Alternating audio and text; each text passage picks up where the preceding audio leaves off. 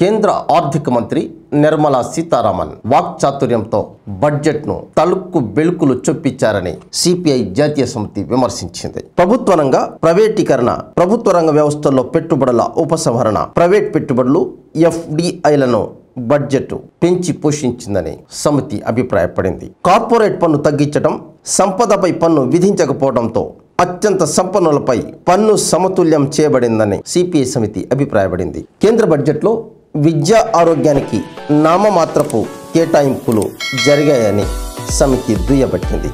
విద్య ఆరోగ్య రంగం ఎదుర్కొంటున్న సవాళ్ళను అధిగమించేందుకు మరింత కేటాయింపులు అవసరమని కానీ ఆ దిశగా కేంద్ర బడ్జెట్ విఫలమైందని సమితి అభిప్రాయపడింది. అంతర్జాతీయ మార్కెట్లో చమురు ధరలు పెరుగుతున్న ఈ తరుణంలో పెట్రోల్ డీజిల్పై లీటర్కు రూపాయి సెస్ విధింపు ద్రవ్యోల్బణం మరింత పెరుగుదలకు దారితీస్తుందని సామాన్య ప్రజలకు మరింత భారంగా పరిణమిస్తుందని సమితి ఆగ్రహం వ్యక్తం చేసింది.